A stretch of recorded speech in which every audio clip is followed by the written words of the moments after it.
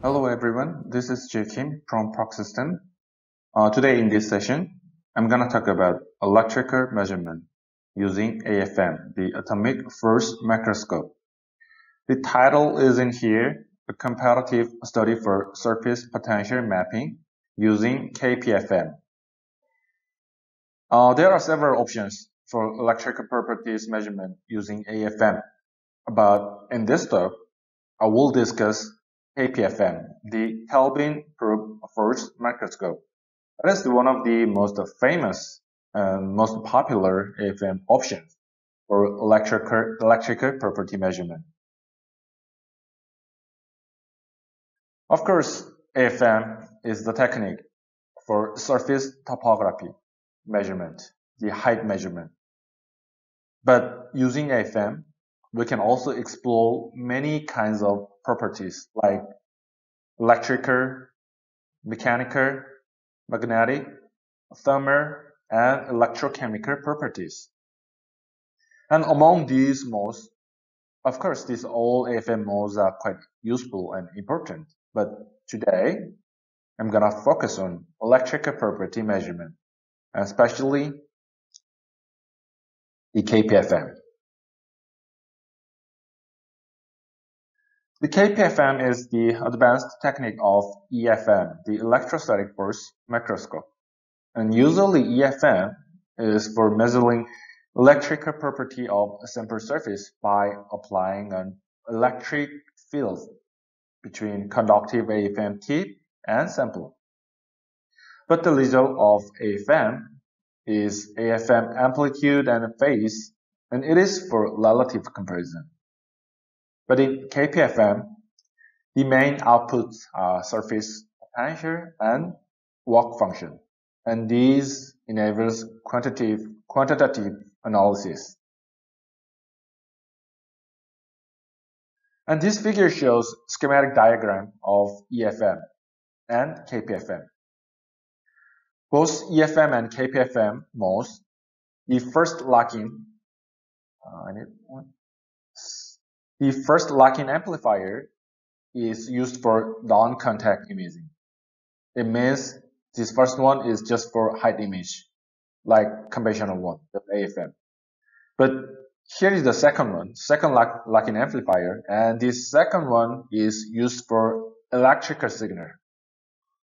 And the main difference between EFM and KPFM is applying the DC bias for this servo like this. When the servo is off, this is just EFM. But when we apply the DC bias for tip bias servo, the servo on, it is KPFM. So once again, in EFM, just AC tip bias is applied for electrical signal. But in KPFM, DC bias, AC, AC bias with the DC bias is applied to monitor the sample's surface potential. Uh, here, more detailed one. And this equation shows the total voltage between AFM tip and sample. Uh, so I need a major point. Yes. Here, this equation shows the total voltage between AFM tip and sample. And this one can be expressed by a followed equations. And in here, system track this term and make this term zero by applying the DC bias. So collecting this DC bias can make can make sample surface potential mapping, the imaging. And like this, the front figure, KPFM shows the show the surface potential, negative or positive with height information simultaneously. Well, let me show you just one good example of KPFM. And the sample is F14H20, the flower and alkanes. And the image shows the clear contrast depends on their electrical properties. And this electrical signal, uh, some reason, follow the height structure, but some structure, like those circular structures, indicate a totally different aspect. It's quite, it is not followed by height image. It is just sample's own surface potential. And like this, we can clearly monitor the electrical signal of a sample surface using KPFM. Well, at this slide, uh, I'd like to discuss about sensitivity of KPFM. Of course, there are so many sort of the factors for KPFM sensitivity, but AFM cantilever is one of the main factor, one of the most important main factor. Well, from the conclusion, based on the uh, series, the KPFM sensitivity affected by cantilever's spring constant and cantilever's length. So, as the length of the cantilever or spring constant increases, increases the KPFM sensitivity decreases. The conventional one, or we can also say the amplitude modulation KPFM, usually detects the electrostatic force and it can be affected by entire, the whole cantilever. It means the KPFM sensitivity can be changed depends on AFM cantilever type. But the sideband KPFM, the new one, it is based on the frequency modulation technique. And also we can say this is advanced one. So yeah, anyway, this sideband KPFM utilizes the utilize local interaction between tip apex and sample surface due to the short range of the force gradient. So it has a better spatial resolution and much less affected by cantilever type. Here is the simple principle of the sideband KPFM. And the cantilever has his own resonance frequency, and it oscillated at f0. Yes, here f0. This is the cantilever's own resonance frequency. And when FAC, the AC bias is applied, then we can see the sideband peak. Here F0, negative minus FAC, and in here F0 plus FAC. These two is a sideband peak.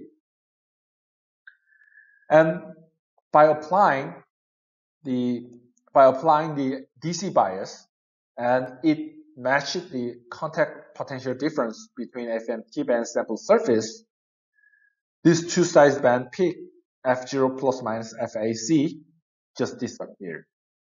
So when we track apply the DC voltage, DC bias, then we can know and we can see the surface potential of this sample surface. And this figure shows the schematic diagram of sideband KPFM. The others are just same as AM KPFM. But, oh, here, here, like this.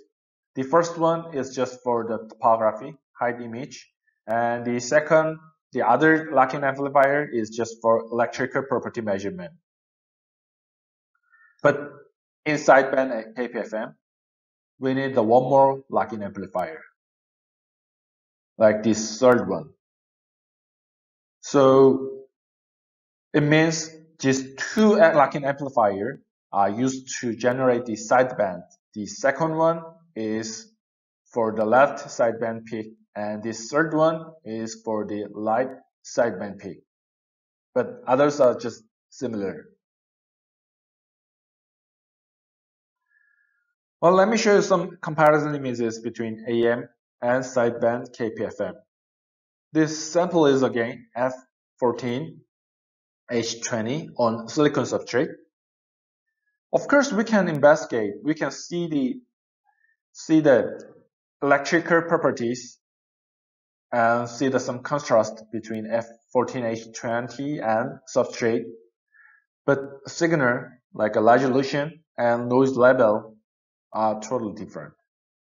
As from the image and light profile, the sideband KPFM has much better performance, much clear image. And regarding thin layer, like this HOPG, uh, we can see the difference.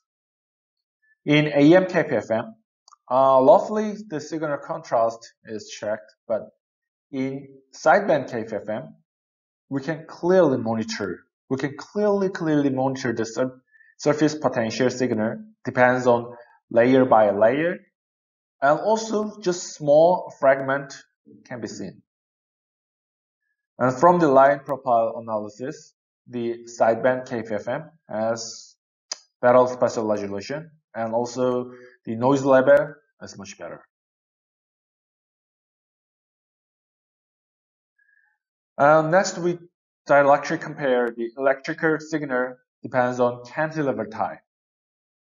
As I mentioned, the KPFM sensitivity affected by cantilever type, like spring constant and cantilever, cantilever length. So here we choose the three kinds of cantilever and compare them using compare the compare the, these three kinds of cantilevers using AM and sideband KPFM. The cantilever candidates I'm here. Point. Okay. So the first one is NCHAU, the NCH Gold, and it has a 42 Newton per meter of spring constant and 125 micrometer of length. And the second one is the NSC18, the chrome gold, and this spring constant is just 22.5, but length is 225 micrometer. And the last one is NSC36 chrome gold, the C lever, and it has a just 0.6 Newton per meter of spring constant, and the length is the 130, 130 micrometer. So we can say the first one, the NCHAU, the gold, has a hardest cantilever, and the second one, the length of the this length of this cantilever is longest one. And this third one, the last one, has the smallest and shortest cantilever. So, once again, as the length of the cantilever or spring constant increases, the KPFM sensitivity decreases. So, from the theory, the NCH gold, the high spring constant, and NSC 18 chrome gold the long cantilever have poor resolution. And the result, it is quite well matched with the theoretical background. The small K value, the spring constant, and short cantilever, in this case, NSC 36, has much better image quality at AM KPFM. It means the result, the image is highly affected by cantilever time. Uh, next is the same, it's same measurement, same sample, same cantilevers, but it measured by sideband KPFM. Interesting thing is there is almost no difference between cantilever types, just quite similar images. And the ledger shows, these images shows the similar KPFM image quality, and this ledger is quite good evidence for supporting the strong point of sideband KPFM. The sensitivity of sideband KPFM only affected by just tip apex, not the whole, the entire cantilever. So the image quality is almost similar for all three cantilevers type. Okay, this is my last slide. To sum up, uh, first one, of course, the AFM can exfol loss of samples properties as well as height information. And among those AFM options, the KPFM can measure the electrical properties of sample surface, such as conductivity, surface potential, and work function.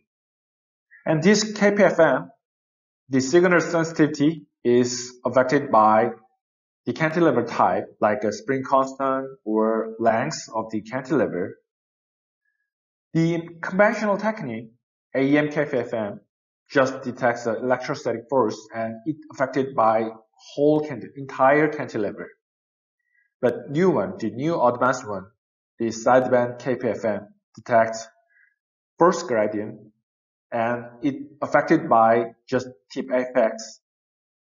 So the sideband KPFM has better spatial resolution than AM KPFM. And also the sideband KPFM is much less affected by cantilever types. Thank you for your attention. Uh, if you have any questions, just not only KPFM, but just all about AFM, please contact us. You can also go to the our webpage or you can email us. Thank you again and hope to see you next time.